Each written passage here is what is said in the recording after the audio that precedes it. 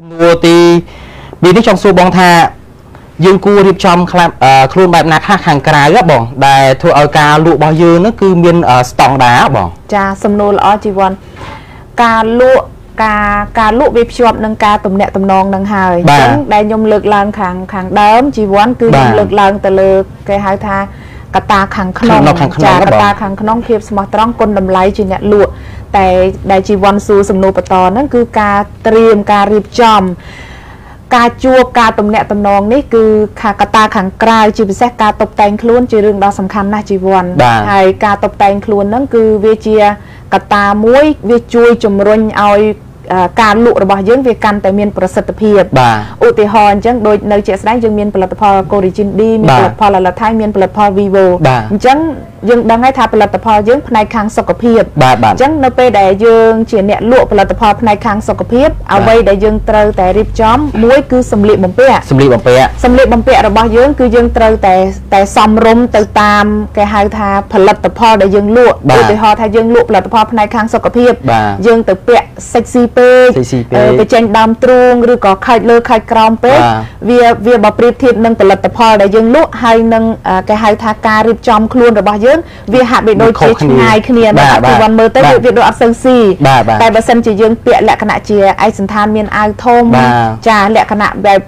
គេហៅថ្លៃធ្នូរុំទុំមិនមិនលិចលើលិចក្រោមវាធ្វើឲ្យ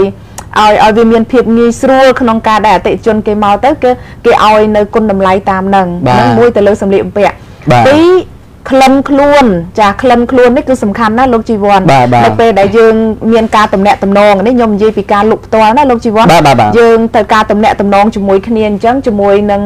រវាងដៃគូដែលគេមករកយើងជាមួយនឹងអ្នកដែលគេទិញគេមកប្រស័យតាក់តងយើងក្លិនខ្លួនរបស់យើងគឺសំខាន់ដល់អ្នកខ្លះមកគាត់អូក្លិនខ្លួនអ្នកលក់អស់អារម្មណ៍មែនអត់គឺគេថាយើងយើងអស់អារម្មណ៍ក្លិនខ្លួនក្លិនមាត់ហើយជាពិសេសទៅលើកញ្ចក់កញ្ចក់របស់យើងដូចថា ធម្មតាពេលដែលយើងចាប់ផ្ដើមនិយាយភាសាតាក់ទងយើងតែងតែមានសម្លេងចេញផង មានកាយវិការផងអញ្ចឹងគឺយើងអ្នកលក់សុខភាពយើងត្រូវស្អាតហើយមែនអត់យើងត្រូវមើលសម្លៀកសម្លៀកបំពាក់យើងឲ្យទៅមើលក្លិនខ្លួនយើងឲ្យទៅមើលក្លិនមាត់យើងឲ្យទៅមើលកញ្ចក់ដៃ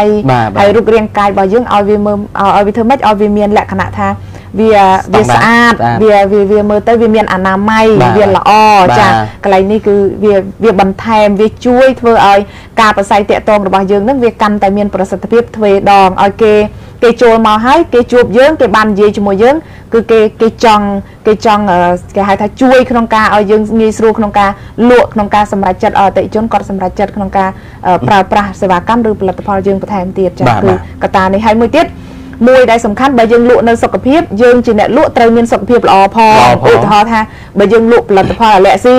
យើងខ្លួនឯងក្អកអញ្ចឹងដល់ពេលដែលយើងមកពាក់ម៉ាស់ហើយយើងក្អកយើងអីអតិជនគេមកមានទំនុកចិត្តអត់គេអត់មានទំនុកចិត្តទេអញ្ចឹងគឺសុខភាពរបស់យើងគឺសំខាន់ណាស់តែបើយើងលក់សម្រស់យើងលក់សម្រាប់យើងត្រូវមើលភាពខាងក្រៅទៅលើកតាស្បែកយើងលក់អីគេយើងលក់លេយើងលក់អីអញ្ចឹងគឺយើងត្រូវមើលស្បែករបស់យើងសុពន្ធភាពរបស់យើងដែរចាបន្ថែមកតាខាងក្រៅណាជីវ័ន